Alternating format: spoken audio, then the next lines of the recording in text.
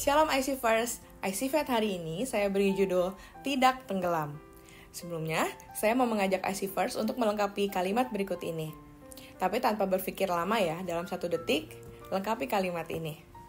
Terkadang, hidup itu tidak mudah dan sulit untuk bertahan, tetapi saya tahu saya punya titik, titik, titik.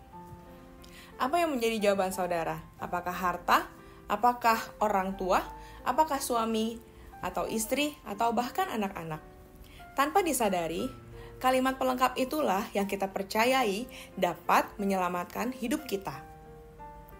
Jika kita sedang berada di tengah laut dan hampir tenggelam, manakah yang lebih berharga? Apakah pakaian yang branded, yang mahal harganya, atau life jacket yang tidak ada merek sama sekali dan bahkan sudah mulai usang? Saya percaya kita semua akan memilih life jacket karena kita percaya bahwa life jacket inilah yang akan dapat menyelamatkan hidup kita supaya kita tidak tenggelam.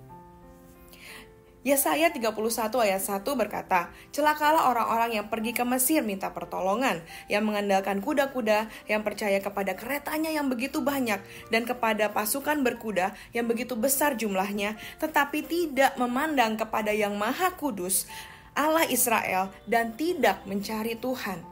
Firman Tuhan di sini sudah jelas sekali menyatakan kepada kita bahwa satu-satunya penyelamat dalam krisis, dalam kondisi apa pun yang menjaga kita dan menjaga kepala kita tetap di atas air adalah Tuhan.